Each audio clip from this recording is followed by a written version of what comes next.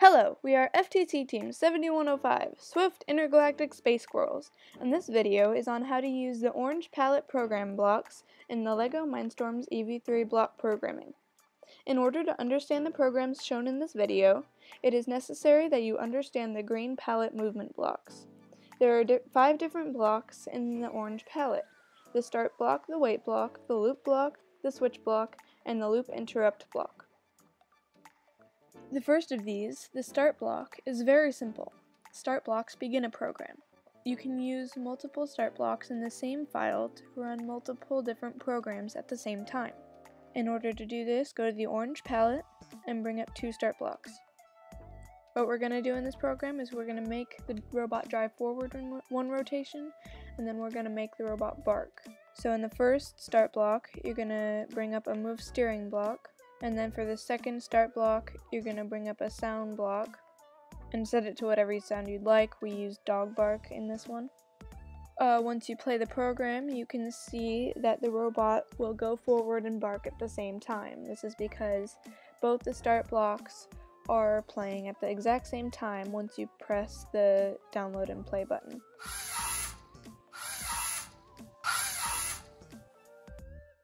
If you would like to play multiple programs on the same play block, but only after a previous program has run, then this is a great program for you. First, you'll want to grab a play block from the orange palette.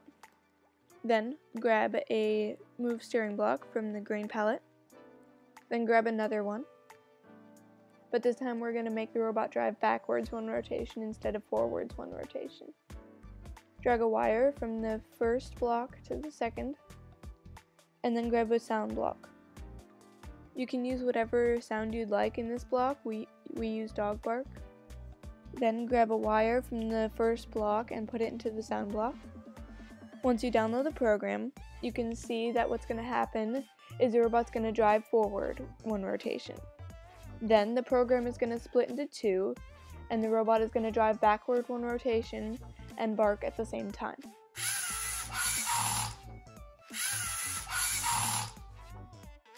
In this next program, we will be showing you how to use the wait block. First thing you're going to want to do, go to the green palette and select the move steering block.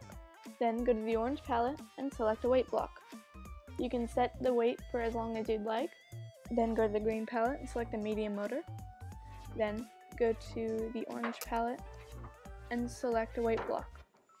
You can even set the wait block for half a second then go to the green palette and select a move steering block. Uh, we're going to make the robot go backwards this time. So once you download the program, you can see that the robot's going to move forward one rotation, wait one second, then it, the medium motor is going to spin one rotation, and then the robot's going to wait for half a second, and then the robot's going to move backward one rotation. In this next program, we will be showing you how to use the motor rotation setting on the wait block. Go to the green palette and select a medium motor. Turn the medium motor on and then go to the orange palette and press the wait block. Turn the wait block to motor rotation compare degrees. Change the compare type to greater than or equal to and then change the threshold value to 1080. 1080 is 360 times 3. So what will happen is the medium motor will spin three times until it's reached 1080 degrees, and then the rest of the program will be played. The rest of the program will be a move steering block set for one rotation. So once you download the program, you can see that the medium motor is going to play the whole program. But the whole program is only going to play after the medium motor is spun three times. In this next program, we will be showing you how to use the brick buttons setting on the wait block. First thing you're going to want to do, go to the orange palette and select a wait block. Change the wait block to brick buttons, compare brick buttons. Change the state to bumped. There are five options for the buttons that you can press we're going to keep the button on center. Go to the green palette and select the move steering block. So once you download the program, you can see that the robot will wait until you press the middle button. Then the robot will move forward one rotation. This example will demonstrate the default loop setting, the default being unlimited. So first, you'll want to grab a loop block from the orange palette. You can leave the loop block as it is once you've brought it up. Go to the green palette and select the move steering block. Turn it on, and there it is. This program will run over and over and over until you press the stop button on your robot. That's because you set the loop to unlimited. Once you run the program, you can see that that's exactly what will happen. The robot will run as long as you want it until you press the off button. In this next example, we will show you how to use the time indicator setting. So the first thing you want to do, go to the orange palette and select a loop block. Change the loop block setting to time indicator. Go to the green palette and select the move steering block. Turn the block to on and there's your program. What will happen is the loop will play for 5 seconds. Once you download your program, you can see that the robot will drive forward for 5 seconds. In this next program, we will show you how to use the motor rotation setting on the loop block. So first thing you're going to want to do, go to the orange palette and select a loop block. Change the loop block to motor rotation degrees. Change the threshold value to 1080, then change the compare type to greater than or equal to. So what will happen is after you put the medium motor block inside this loop and turn it to on, the motor will spin three times until it's reached 1080 degrees. Once you download the program, you can see this is exactly what happens. All it does is spin three times and then exits the loop. In this next example, we will be showing you how to make your robot do several things while using the motor rotation setting on the loop block. So first thing you're going to want to do, grab a loop block from the orange palette. Change the loop block to motor rotation degrees, change the compare type to greater than or equal to, and then change the threshold value to 720. Go to the green palette and select a medium motor block and leave it as is. Next, grab a move steering block and you can leave that one as, as is as well. Then go to the orange palette and grab a loop block. Then go to the green palette and select a medium motor block. Change the loop to motor rotation degrees. Change the compare type to greater than or equal to. And then change the threshold value to 360. Change the motor medium motor to on. So what's going to happen in this program once you download the program is the medium motor will spin one rotation twice. Then the robot's going to move forward one rotation and then the medium motor will spin one more time. The next program will show you how to use the count setting on the loop block. So first, you'll want to go to the orange palette and select a loop block. Then go to the green palette and select a move steering block. Change the loop block to count. You can set the count for as many as you'd like. We set it for five because it's easier to see what's going on the more counts you have. So what's going to happen is that your move steering block is set for one rotation. So what's going on is it's going to play one rotation five times. Once you download the program, you can see that it's going to play one rotation, stop, play again, stop, play again, stop, until it reaches five counts. This next program will show you how to exit a loop which is set to logic. So first thing you want to do, grab a loop block from the orange palette. Set the loop to logic, then go to the green palette and select a move steering block.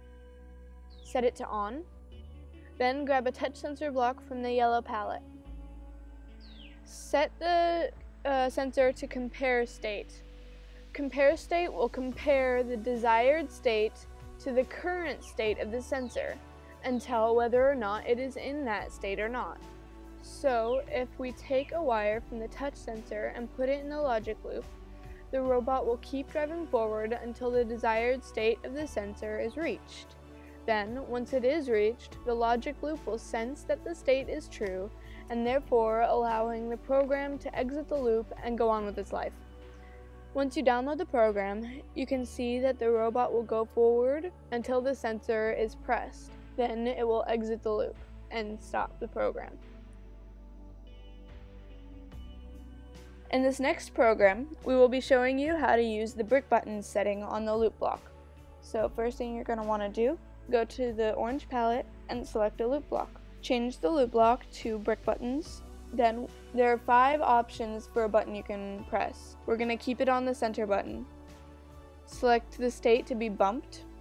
So what's going to happen once you put the move steering block inside the loop and turn it to on is the robot's going to go forward until you press the middle button. Once you download the program, you can see that the robot's going to go forward as long as you want until you press the middle button. In this next program, we will be showing you how to use the timer setting on the switch block. First thing you're going to want to do, go to the orange palette and select a loop block. Then grab a switch block. Put the switch block inside the loop block. Change the switch block to timer compare time indicator. Change the compare type to greater than or equal to, then change the threshold value to 3.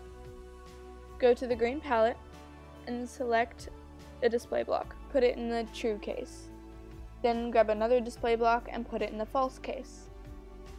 Then change both images to text pixel. Then choose the place you want the text to appear on the screen. If you kept it at 0, 0, it would be in the top left corner of the screen. The text size, we're just going to keep it at normal because it's easier to see. Change the top to over 3 seconds and then change, change the bottom text to under 3 seconds. So once you download the program, you can see that what's going to happen is on the screen, the EV3 is going to show under 3 seconds until 3 seconds is passed. Then the screen will show over 3 seconds. In this next example, we will show you how to use the motor rotation setting on the switch block. So first thing you're going to want to do, go to the green palette and select a medium motor block.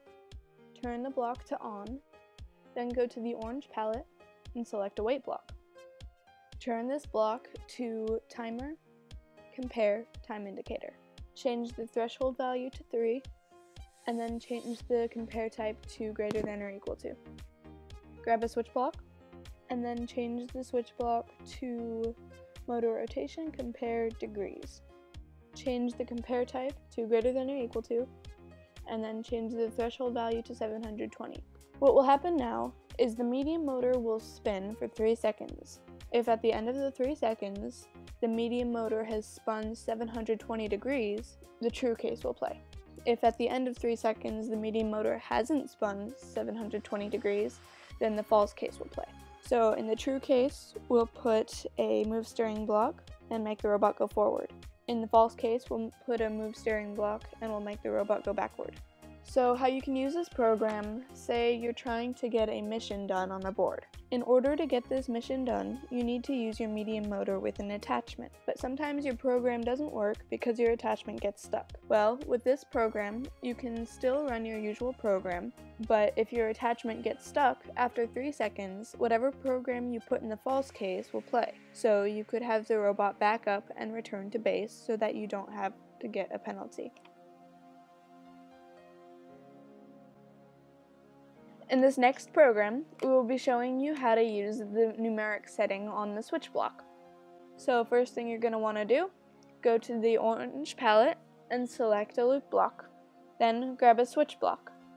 Grab a touch sensor block from the yellow palette, then change the switch block to numeric, all the way at the bottom. Take a wire from the touch sensor block and put it into the numeric switch block. Change the bottom case to the default case and then grab a move steering block from the green palette. Put it in the top and turn it to on. Then grab another one and turn it to on, but this time we'll make the robot go backwards. So once you download the program, what will happen is when the sensor is pressed, the sensor will read 1. So whatever program you put in the top case will play. If the sensor is not pressed, the sensor will read 0, and it will play whatever program is in the bottom case. In this next program, we will be showing you how to use the logic setting in the switch block. So first thing you want to do, grab a play block from the orange palette, then grab a uh, loop block. The loop block is very helpful when using a switch block. This is because it allows the switch to keep reading the state of the robot. So if something happens to the robot mid-program, the switch can change its setting. If you didn't include the, the loop, whatever program the switch is running will stay the same no matter what the robot may sense. So next thing you want to do, grab a touch sensor from the yellow palette, change it to compare state, then grab a switch block, change the switch block to logic. Then bring a wire from the touch sensor block and put it into the switch block. You'll want to keep the touch sensor block on pressed. Grab a move steering block from the green palette, put it in the true case, then grab a move tank block from the green palette and put it in the false case. We're just gonna make the robot turn. So what's gonna happen once you download the program is if the touch sensor is pressed, the true case is gonna flip. So the robot will go forward one rotation. However, if the touch sensor is not pressed, then the robot is gonna turn. You'll have multiple chances to press and not press the button because you put a loop block around this whole program. In this next example, we will show you how to use a switch block. First thing you're going to want to do is grab a loop block from the orange palette, then grab a switch block from the same place. Change the switch block to brick buttons, measure brick buttons. Then you're going to want to add a case to this switch block. You're going to want to change the trigger to nothing. So when you press nothing on the robot, it's going to play this case. Change it to the default case, and then go to the top case and change the button to left, and then the middle case and change it to right. What this will do is if you press the left button, the program in that case will play. If you press the right button, the program in that case will play. If you don't press any buttons, the default case will play, which is the last case on the line right now. So next thing you want to do is grab a move steering block, then grab a, a move tank block from the same place, and we're to make the robot turn. So what will happen if you press the right button is it's to go forward and then turn. We're to place the same blocks we put in the top case in the bottom case, except we're to change two things.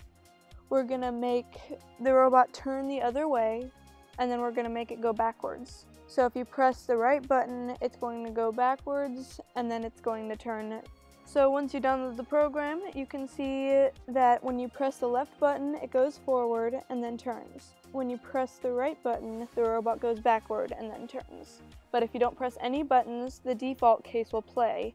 But there's nothing in the default case, so it's not going to do anything. It's just going to wait for your next command.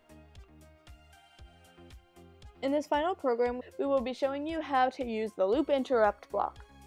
So first thing you're going to want to do go to the orange palette and select a loop block. Then go to the green palette and select a move steering block. So what's going to happen is the loop is going to play this program over and over and over again.